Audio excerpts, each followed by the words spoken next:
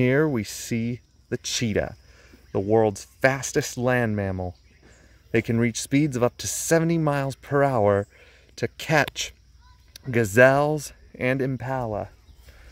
However, they can't build up their speed for long distances, so if the chase lasts for more than a minute, the cheetah tires. Only half of all cheetah hunts end in success. Unlike other cats, they can't retract their claws, so they're used like cleats. Other adaptations, like a tail used for balance and steering, and powerful lungs and a flexible spine, are what make cheetahs such great hunters.